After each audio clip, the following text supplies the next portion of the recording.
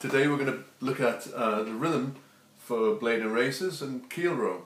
It's a very easy rhythm. Uh, it goes one, a two, a three, a four, a one, a two, a three, a four, a one, a two, a three, a four. A. Let's try just keeping four notes. One, two, three, four. Give it a go.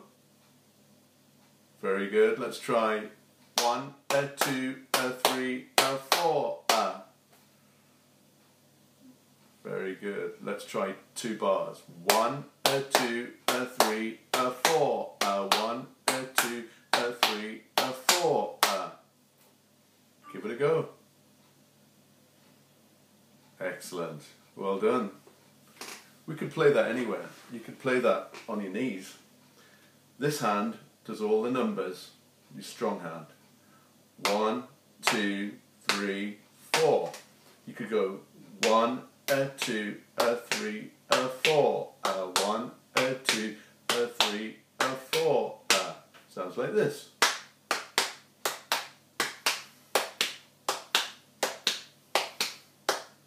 This is the basic rhythm. You could play that on a drum. If you have a drum, you could play it on a drum. One, a two, a three, a four. Uh, have a listen.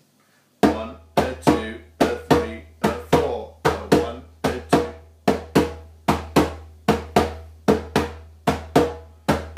If you don't have a drum, you could play it on a bucket, on a container, even on a wa- watering can like this.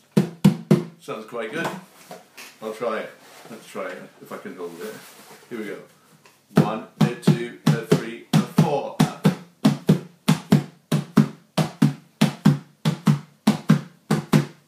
Sounds quite good. Let's try it again with the music.